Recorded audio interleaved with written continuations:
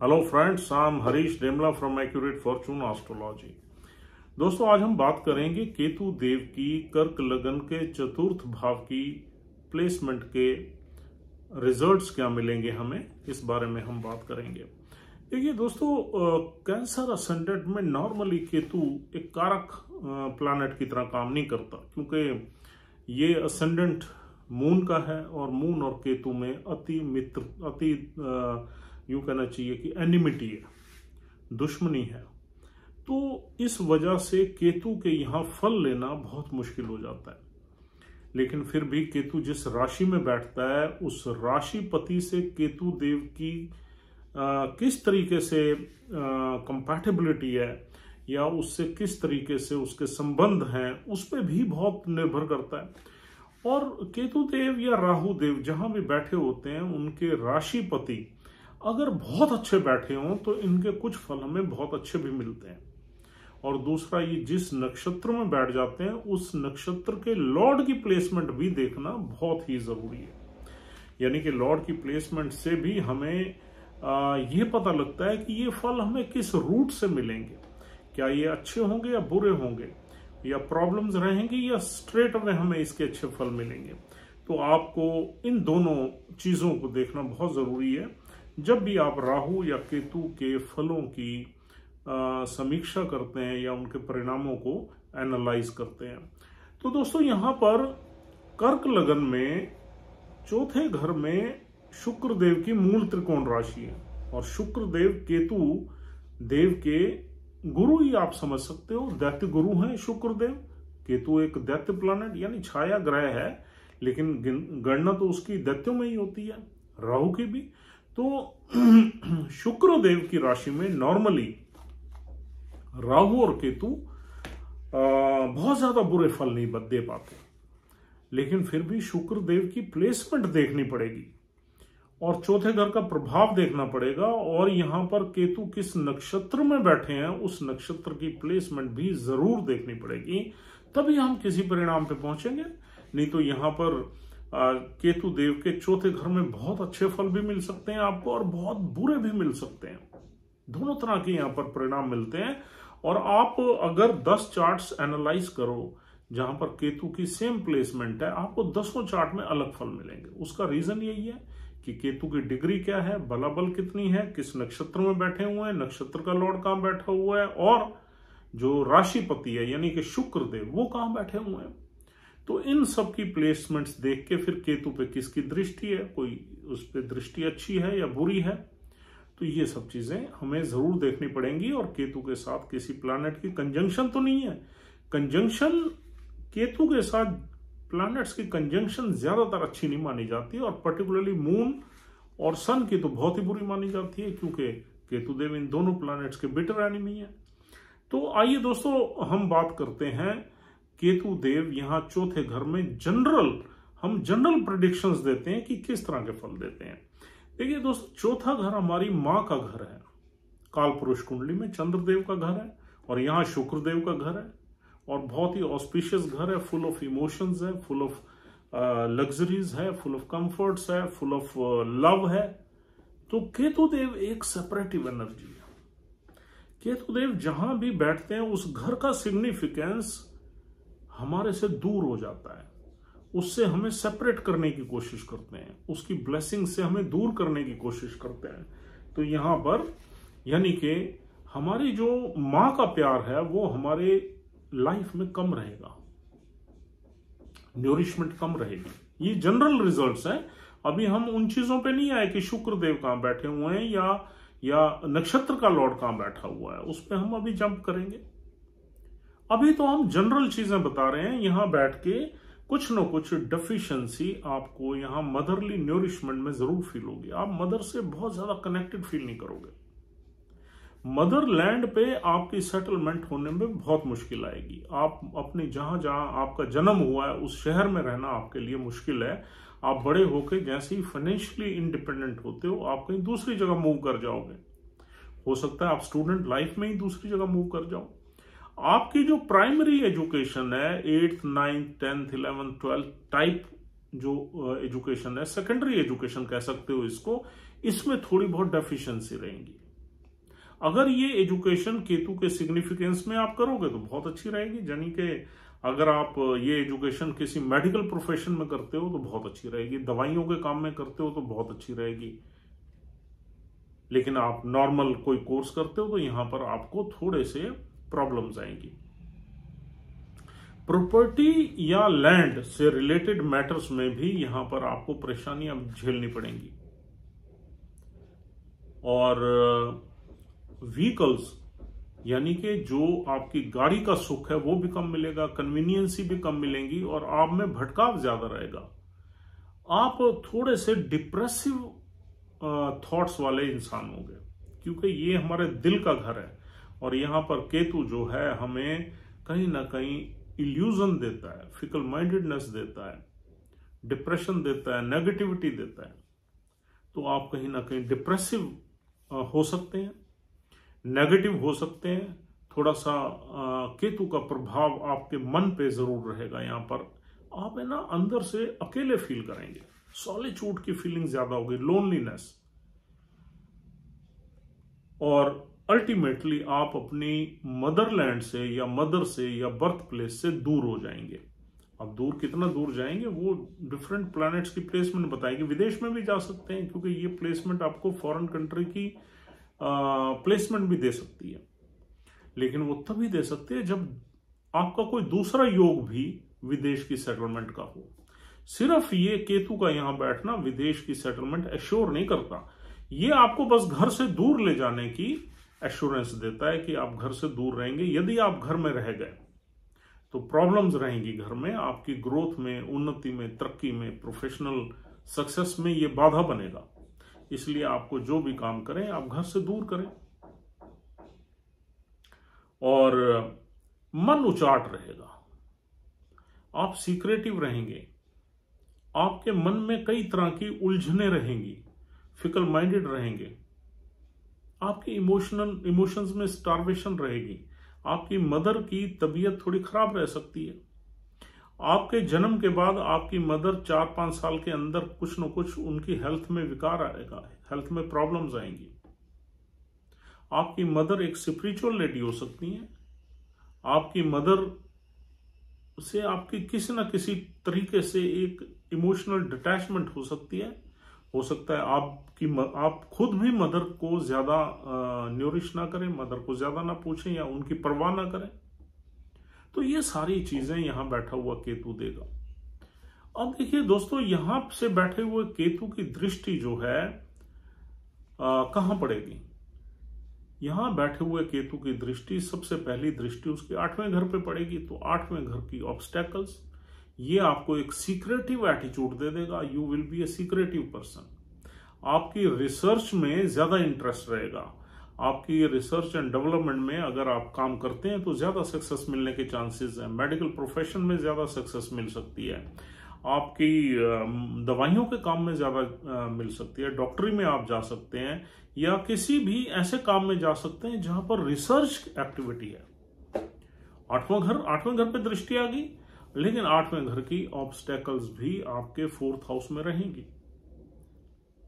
यानी कि हैप्पीनेस में रहेगी लैक ऑफ़ हैप्पीनेस रहेगी। केतु जो है, वो मंगल जैसा प्लानट है, लेकिन मंगल से बहुत ज़्यादा अग्रेसिव है। तो यहाँ कभी कभी हम ये एक्सीडेंट्स की भावना भी एक्सीडेंट्स के रिजल्ट्स भी दे देता है, जब इसकी एट्थ हाउस पे दृष्टि होती है। अगर एट्थ हाउस में केतु का कोई एनिमी बैठा हुआ तो डेफिनेटली यहाँ एक्सीडेंट्स की योग भी बनाएगा। यानी कि मंगल बैठ जाए, यानी कि सूर्य बैठ जाए, यानी कि चंद्रमा बैठ जाए तो कहीं ना कहीं फ़िज़िकल एक्सीडेंट्स भी ये प्लेसमेंट दे देती है। और इसकी सातवीं दृष्टि पड़ेगी दसवें घर पे। दसवां घर, वहाँ राहुदेव बैठे हुए हैं। राहुदेव अकेले हैं तो कोई दिक्कत नहीं है। अगर राहुदेव के साथ कोई एनिमी प्लानेट बैठा हुआ है तो राहु भी उसे मारेगा, केतु भी मारेगा। तो वो अफेक्ट हो जाएगा, उस प्लानेट के रिजल्ट्स भी हमें कम मिलेंगे। और इसकी जो रिजल्ट्स कम मिलेंगे तो दसवां घर अफेक्ट हो जाएगा कैरियर अफेक्ट हो जाएगा हमारा। अगर वहाँ कोई प्लानट नहीं है, केतु की दृष्टि किसी पे नहीं है तो बहुत अच्छी बात है। हाँ, अगर शुक्रदेव बैठे हुए हैं, जो केतु के मित्र हैं बुद्धदेव बैठे हुए हैं, जो केतु के मित्र हैं तो यहाँ कोई परेशानी नहीं है। गुरुदेव भी अगर बैठे हुए हैं, तब भी कोई परेशानी नहीं है। केतु की नाइन्थ एस्पेक्ट पड़ेगी बारहवें घर पे। बारहवा घर मोक्ष का है। तो यहाँ पर इंक्लाइन आदमी रहेगा, थोड़ा स्पिरिचुअलिटी में भी इंक्लाइंड रहेगा। और केतु तो मोक्ष का कारक ही आठवें घर की दृष्टि और बारहवें घर की दृष्टि। दोनों इंसान को एक स्पिरिचुअलिटी की फीलिंग भी देंगी। आदमी परेशानियों के बाद एक स्पिरिचुअल बेंट ऑफ़ माइंड आएगा चैरिटी में जाएगा, कुछ किसी फिलॉसफी से जुड़ेगा, कुछ ट्रेवल्स करेगा। लंबी जर्नीज में भी जा सकता है फॉरेन की सेटलमेंट में भी जा सकता है फॉरेन कंट्री भी घूम सकता है, यानी कि वो कहीं ना कहीं मोक्ष की तलाश में भी ज़रूर जाएगा, चाहे वो लेटर एज में जाए। अब दोस्तों देखते हैं कि केतु यहाँ पर शुक्र की राशि में, अगर शुक्र डिफरेंट हाउसेस में बैठ जाए या केतु जिस नक्षत्र में बैठे हुए हैं, उस नक्षत्र का लॉर्ड, यानी यहाँ तीन नक्षत्र मिलते हैं।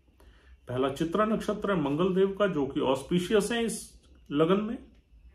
और दूसरा नक्षत्र है यहाँ राहु का, जो इनऑस्पिशियस है। लेकिन राहु की प्लेसमेंट तो हमें पता है, दसवें घर में है। और तीसरा नक्षत्र है विशाखा, गुरुदेव का, वो भी ऑस्पिशियस है। राहुदेव दसवें घर में नॉर्मली अच्छा काम करते हैं, लेकिन यहाँ पर दसवें घर में एक नंबर राशि है जो थोड़ी सी मंगल की राशि है, राहुदेव का एनिमी है मार्स थोड़ा सा एग्रेशन रहता है यहाँ पर दसवें घर में। थोड़ी सी प्रॉब्लम्स भी रहती हैं कैरियर में।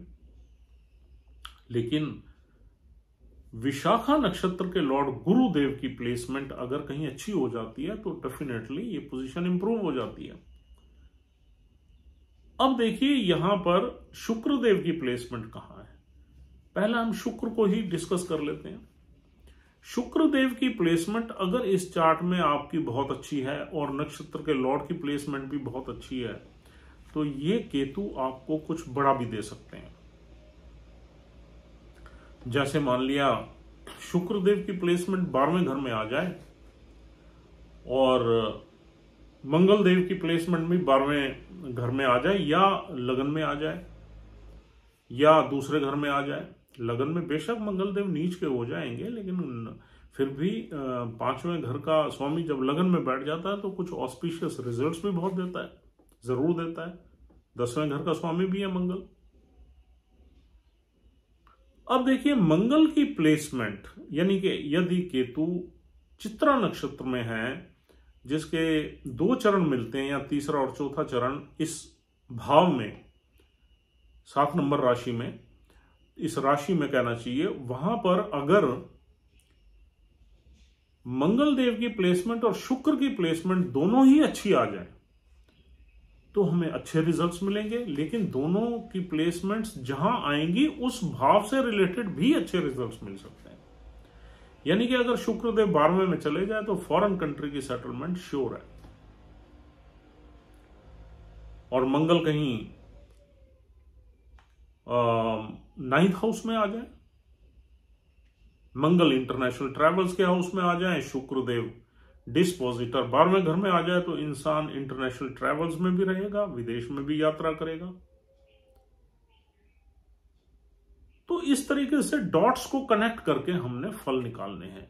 अगर शुक्रदेव की प्लेसमेंट सेकंड हाउस में आ जाए तो इंसान को मदरली प्रॉपर्टी को इनहेरिटेंस इनहेरिट करेगा।